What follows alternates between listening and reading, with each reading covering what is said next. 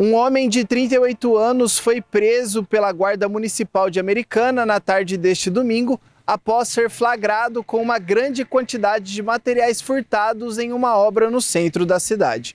A prisão ocorreu durante patrulhamento na rua Ari Meireles, quando os guardas notaram um indivíduo carregando uma bag de motoboy que parecia estar cheia, o que gerou suspeitas. Após ser abordado, nada de ilícito foi encontrado diretamente com o homem mas ao verificar o conteúdo da bolsa, foram localizados fios de cobre, fios de telefonia, tomadas elétricas, uma torneira, além de ferramentas como espátula, alicates e chave de fenda.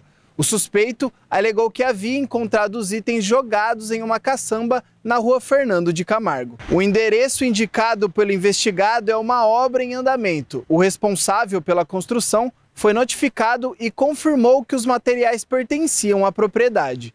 Ainda no local, constatou-se que o suspeito havia danificado uma placa metálica e escalado um muro de aproximadamente 1,60m para acessar o espaço e furtar os objetos.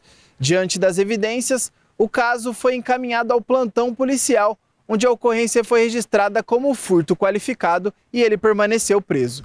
João Victor Viana para a TV Todo Dia.